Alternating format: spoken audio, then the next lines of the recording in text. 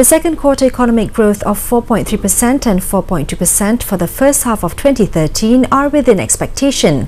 Group Chief Economist of RAM Holdings, Dr. Yeah Kim Leng says, even though the numbers were weaker than the expected 5%, the slower economic performance was in line with the slower growth around the region.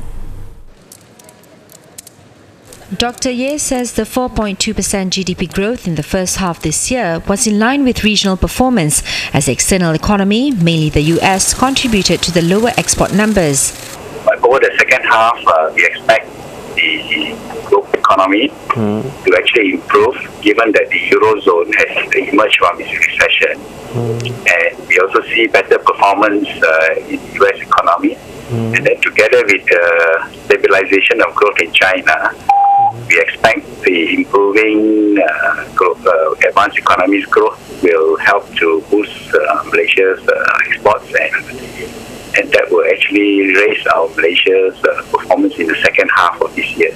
In a phone interview with Bernama TV, he said the revised downgrade of between 4.5 to 5% for this year was still a reasonable growth level given the softening global economy, especially in the first half this year.